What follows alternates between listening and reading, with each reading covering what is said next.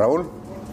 ¿Qué tal? Buenas tardes compañeros. Estamos aquí en la Cámara de Diputados y ahora se está armando un verdadero escándalo, por decirlo de esta manera, porque comenzaron a votar por el proyecto de ley que presentaron, en este caso, la diputada Katia González y también el diputado Antonio Bursarquis. ¿Qué es lo que presentaron?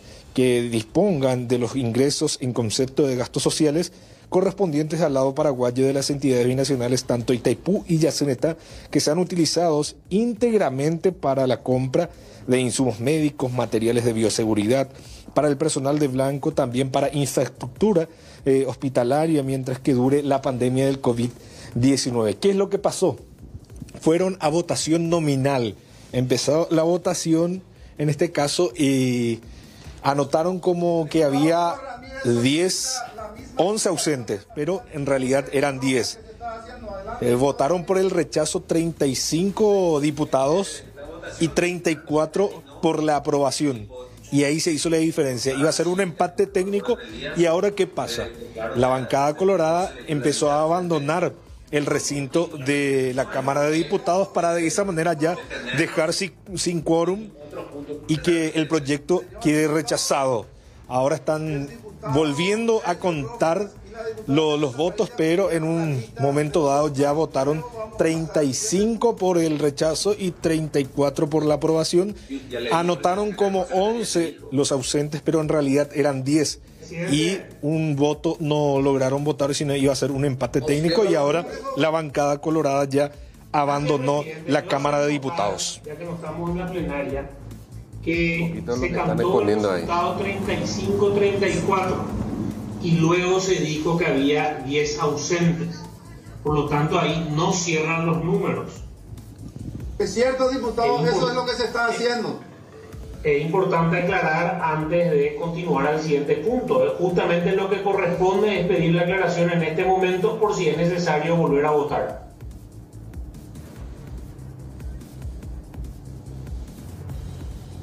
Katia González ya está. Diputado González, adelante.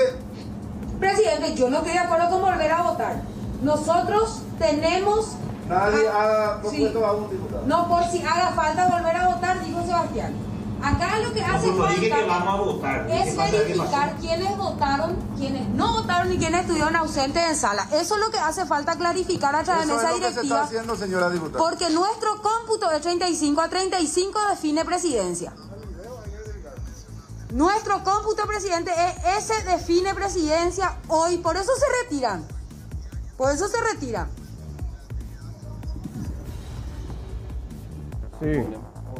Lo que menciona entonces la diputada Katia González. A favor del uso. Del uso, claro. Sí.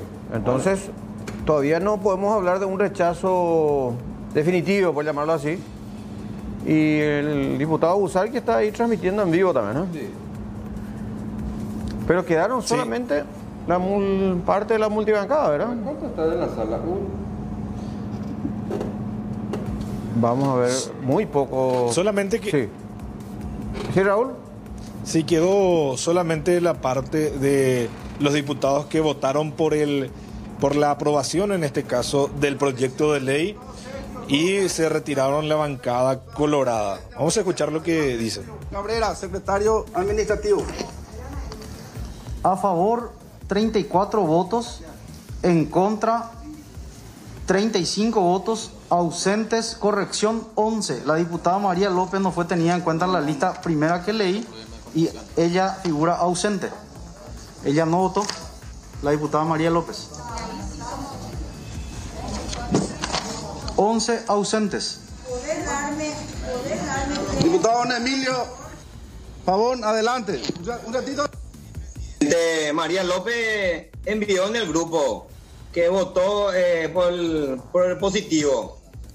Esperamos realmente más de 10 minutos para a todos se le llamó, inclusive yo creo que el, el presidente hace la semana eh, pidió a que ningún funcionario esté ahí adentro de la cámara y en, acá se estaba viendo un asistente, un diputado hablando con la mesa en el, en el, ahí en la en donde están los secretarios presidentes. Entonces medio, no sé, se espera, se espera.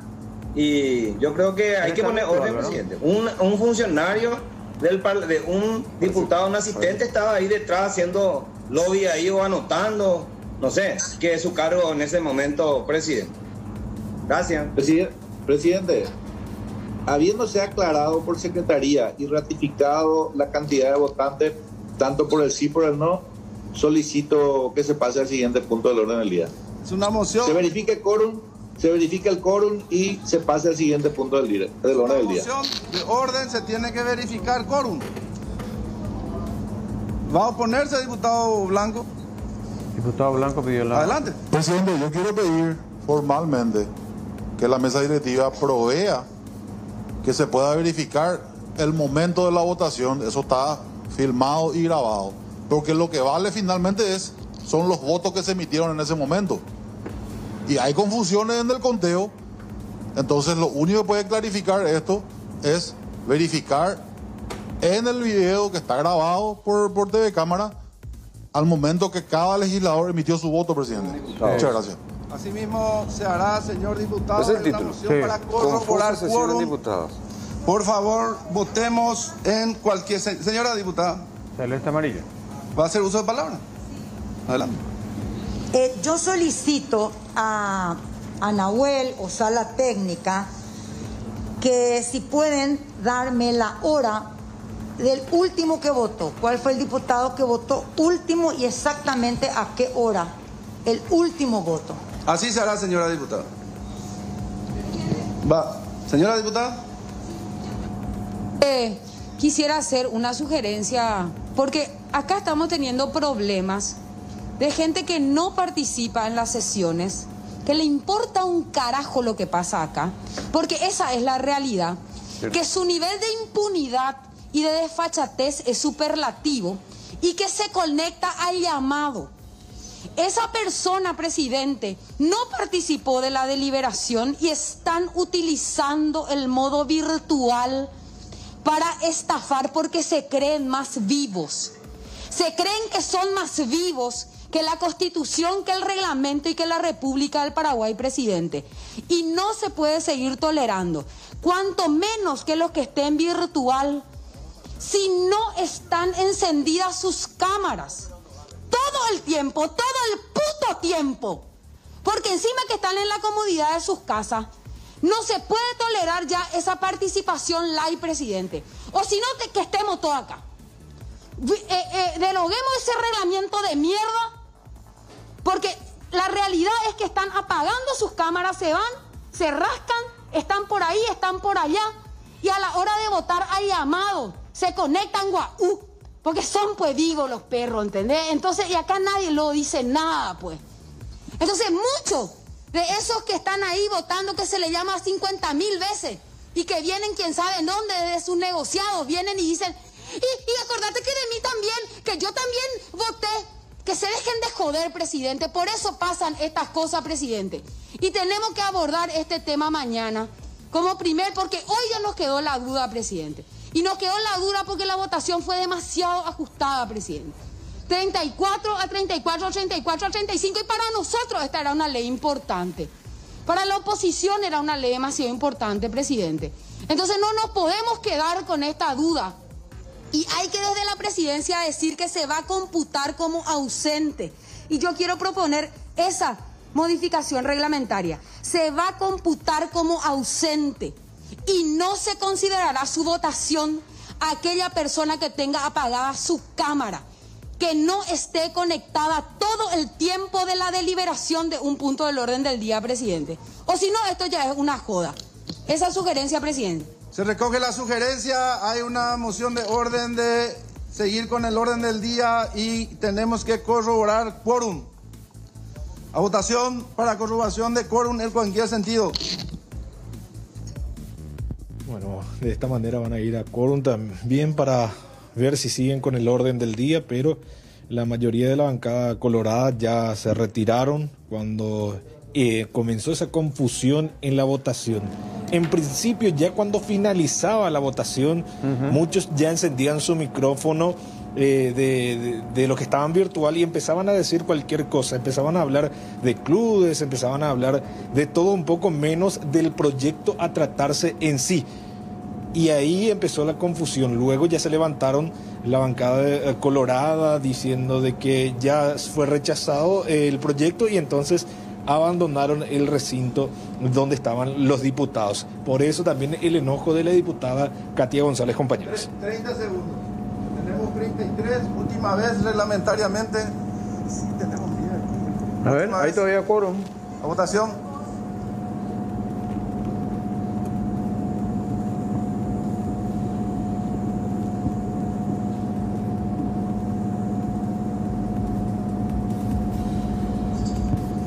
Corroborando si hay o no quórum para seguir con el siguiente punto del orden del día, pero este era el punto más importante a tratar después del gasto COVID cero, en este caso que ya se aprobó y va a ir a la Cámara de Senadores. También la ley que apoya también a, a CEPAR, eh, que fue aprobado también eh, ese proyecto de ley, y este era el proyecto que la oposición pretendía que se apruebe y ajustada la votación en este caso 35, 34 y ahí quedó la duda si en realidad hubo un ausente o le pusieron. Ahí está. Decir ya que se no hay quórum. Se levanta. Se levanta la sesión. Se levanta se rechazó el proyecto de ley que buscaba la utilización de al menos 150 millones de dólares de los gastos sociales de las binacionales este, en, pacientes con COVID. Esta acta pero no se tiene que aprobar en la siguiente sesión. Ahí no puede haber alguna... Se va al archivo esto. Modificación. No, pero no ah, pues, igual se te van a imponer de vuelta la mayoría, lastimosamente. Y esta, hay que decirlo, era un proyecto noble, loable. Sí, sí. Porque lo que falta ahora son recursos. millones de dólares. Pero te dicen desde el Ministerio de Hacienda, te dice que hay recursos. Que es cuestión de... Pero cuanto más recursos haya mejor, sí, ¿verdad? Sí, totalmente, totalmente. Hoy, por ejemplo, esto de que decía Raúl, el Fondo Nacional COVID-19 Gasto Cero, que sí tuvo media sanción, pero cuando iban a tratar la fuente de financiamiento, también hubo un, un lío, por decirte así. Y finalmente eh, hubo un dictamen de una comisión eh, para el redireccionamiento de créditos programados en el en MOPC, Obras Públicas, unos 32 millones de dólares eh, como fuente de financiamiento para ese proyecto. Pero hay que ver si esto se aprueba también en el Senado, sí. porque se decide también que el presupuesto de Obras Públicas no se iba a tocar. En fin, eh, qué, confusión. Realmente. ¿Y eso estaba previsto? Sí, sí. Es año electoral. Este y ahí, vamos a escuchar qué dice. ¿Qué fue lo que pasó? Sí, realmente confuso episodio es el mejor titular porque eh, una serie de colegas que no estuvieron en las deliberaciones se conectaron solamente a la hora de votar. Y eso hizo que evidentemente se produzca una confusión. Nosotros ganamos este proyecto. La gente que estuvo comprometida desde la primera hora de la mañana, que estuvimos acá presentes, que estuvimos debatiendo y sosteniendo que los fondos sociales de Itaipú y Yacyretá deben ser destinados a salud, a remedios, a materiales de bioseguridad, ganamos esta votación. Pero como siempre, acá la gente se cree más viva que la ley, que el reglamento, que la constitución. Entonces a la hora de la votación empezaron a conectarse. Y hubo una confusión que se tiene que aclarar a través de mesa directiva, porque supuestamente perdimos por un voto. ¿Esto es adrede, diputada?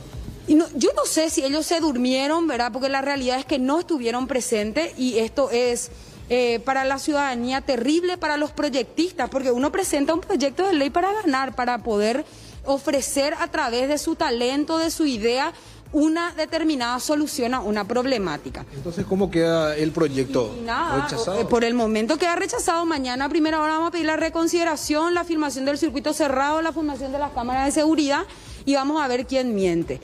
Porque el reglamento en todo caso se tiene que clarificar. Una persona que apaga su cámara, que solamente se conecta para votar, es una persona que le está estafando a la ciudadanía. Y eso no se puede seguir tolerando. Nosotros somos legítimos ganadores del proyecto que dispone que los fondos sociales de las binacionales, 150 millones de dólares, se destinen a salud, compra de insumos médicos, materiales de bioseguridad y construcción de pabellones COVID. Y eso tiene que saber la ciudadanía que se está imponiendo no solamente la farsa, la tragedia, sino hoy la trampa. La diputada Katia González entonces se, la ve muy molesta luego del rechazo ahora, en este caso, de este proyecto de ley. Mañana van a presentar eh, nuevamente un reclamo para ver si pueden volver a tratar el proyecto.